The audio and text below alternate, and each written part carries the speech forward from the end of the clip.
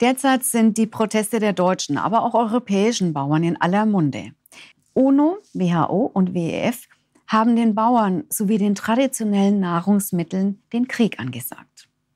Durch ihre Agenda 2030 werden auch die Landwirte im Besonderen angegangen. Ziel 2 der Agenda 2030 sieht angeblich vor, den Hunger zu beenden, Ernährungssicherheit und eine verbesserte Ernährung zu erreichen sowie eine nachhaltige Landwirtschaft zu fördern. Zu beobachten ist jedoch, dass die natürliche kleinbäuerliche Landwirtschaft zerstört wird, während gleichzeitig multinationale Konzerne durch eine industrielle Landwirtschaft sowie durch Gentechnik und Agrochemie immer mehr die weltweite Nahrungsmittelproduktion kontrollieren. Ein Abriss des Essays Nahrung als Waffe des unabhängigen deutschen Autoren und Journalisten Tom Oliver Regenauer zeigt auf, wie die Existenzgrundlage Nahrung schon in der Geschichte und genauso auch heute als Waffe gegen die Menschheit eingesetzt wird. Im Dezember 1974 verfasste Henry Kissinger ein geheimes Strategiepapier für den Nationalen Sicherheitsrat der Vereinigten Staaten. Die von Kissinger skizzierte Strategie wurde im Jahr 1975 offizielle politische Leitlinie von Präsident Gerald Ford. Das Bevölkerungswachstum wird ernsthafte Auswirkungen auf den Bedarf an Nahrungsmitteln haben, liest man da. Daher müsse die Nahrungsmittelhilfe für die Entwicklungsländer möglicherweise an obligatorische Sterilisationsprogramme oder Bevölkerungsreduktionsquoten geknüpft werden, folgert Kissinger. Dieser Gedankengang führt den in Diensten des einflussreichen Rockefeller-Clans stehenden Geostrategen wiederum zu der amoralischen Erkenntnis, dass Lebensmittel in solch einem Szenario zu einem wirksamen Instrument nationaler Macht avancieren. Er erklärt Nahrungsmittel zur Waffe. Dies ist allerdings kein neuer Gedanke. Beispiele der vergangenen Geschichte. Schon vor 3000 Jahren belagerten die Griechen Troja, um es auszuhungern. In Irland starben etwa eine Million Menschen, also 12 Prozent der irischen Bevölkerung, infolge der großen Hungersnot 1845 bis 1849. Primärer Auslöser waren nicht Missernten oder eine neuartige Kartoffelfäule, sondern die von Hochfinanz und einzelnen Interessengruppen korrumpierte Politik der damaligen britischen Regierung. Auf die Kappe der britischen Kolonialmacht ging auch der Tod von bis zu vier Millionen Indern während der Hungersnot in Bengalen im Jahre 1943. Im Zweiten Weltkrieg starb während der 500 Tage andauernden Belagerung Leningrads über eine Million Menschen. Auch Josef Stalin nutzte seine Macht, um mittels Nahrungsmittelverknappung die ukrainische sozialistische Sowjetrepublik in die Knie zu zwingen. Die von manchen als Genozid gewertete Hungersnot in den 1930er Jahren kostete drei bis vier Millionen Menschen das Leben. Kannibalismus war keine Seltenheit. Unter Mao Zedong verhungerten zwischen 1958 und 1962 mindestens 24 Millionen Menschen. Seine Devise lautete, es ist besser, die Hälfte der Menschen sterben zu lassen, damit die andere Hälfte sich satt essen kann. Aktuelle Entwicklungen.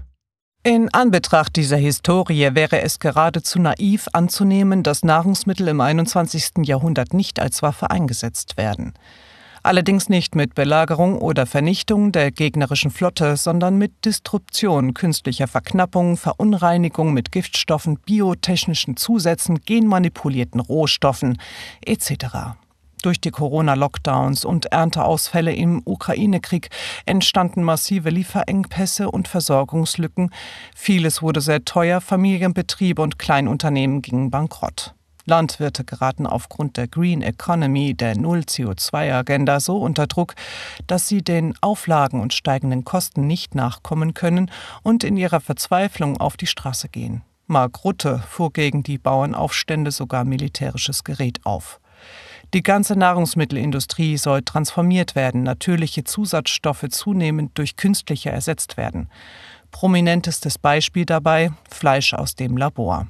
Seit vielen Jahren legen vor allem Bill Gates, mittlerweile größter Grundbesitzer der USA, und Google Ventures viel Elan auf diesem Gebiet an den Tag.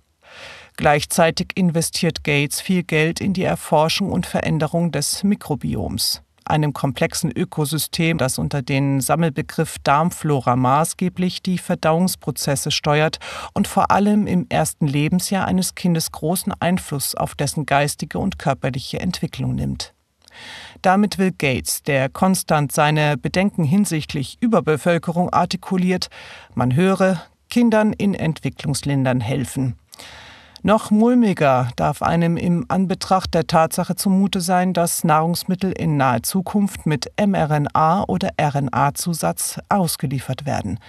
Big Pharma-Profiteure wie Bill Gates kündigen seit langem an, die experimentellen wie schädlichen Substanzen über Nahrungsmittel verteilen zu wollen, um diese so auch jenen Personen zuzuführen, die sich der Covid-Injektion verweigerten. Unternehmen wie Bayer und BioNTech arbeiten seit über sechs Jahren an mRNA-Impfungen für Nutzvieh. Der Wissenschaftler und Miterfinder der künstlich erzeugten mRNA-Technologie Robert W. Malone wies in diesem Zusammenhang darauf hin, das Risiko für den Endverbraucher ist möglicherweise noch größer als bei den Covid-Injektionen. Die auf Gentechnik basierenden Impfungen sind also entgegen aller anderslautenden Faktenchecks bereits im Einsatz. Sie laufen lediglich unter anderen Labels. Zu alledem sollen in Zukunft genetisch veränderte Sporen für die Kontrolle globaler Lieferketten sorgen. Mikroben werden als Überwachungsgeräte benutzt. Dieser DNA-Barcode ist weder durch Hitze oder Kälte noch durch Waschen und Häckseln der Ware zu vernichten. All diese Entwicklungen auf dem Gebiet der Nahrung machen aus dem menschlichen Organismus ein Schlachtfeld. Denn Nahrung kann und wird als Waffe benutzt werden. Ein Herrschaftsinstrument einzelner weniger im Hintergrund.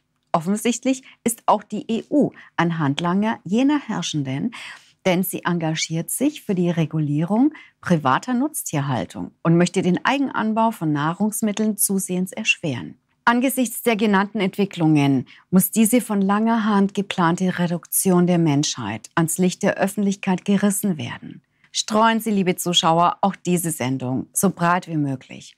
Und schauen Sie regelmäßig bei KlarTV rein, um die Fortsetzung nicht zu verpassen. KlarTV wird hier am Ball bleiben, um mehr Licht in die scheinbar komplizierten Zusammenhänge zu bringen.